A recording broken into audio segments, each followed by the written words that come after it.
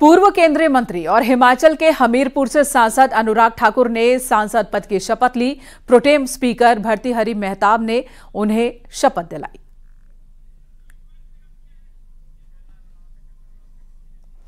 और इस वक्त आप तस्वीरों में देखिए अनुराग ठाकुर को।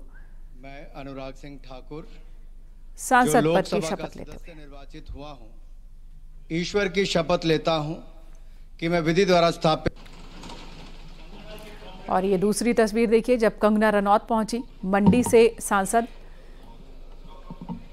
पहली बार मैं अनुराग सिंह ठाकुर। जो लोकसभा का सदस्य निर्वाचित हुआ हूँ ईश्वर की शपथ लेता हूँ कि मैं विधि द्वारा स्थापित भारत के संविधान के प्रति सच्ची श्रद्धा और निष्ठा रखूँगा मैं भारत की प्रभुता और अखंडता अक्षुण रखूँगा तथा जिस पद को मैं ग्रहण करने वाला हूँ उसके कर- कर्तव्यों का श्रद्धापूर्वक निर्वहन करूँगा।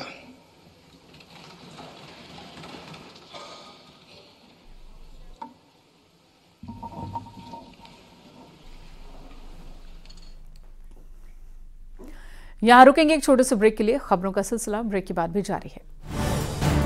आप देख रहे हैं न्यूज़ 18 उत्तर प्रदेश उत्तराखंड।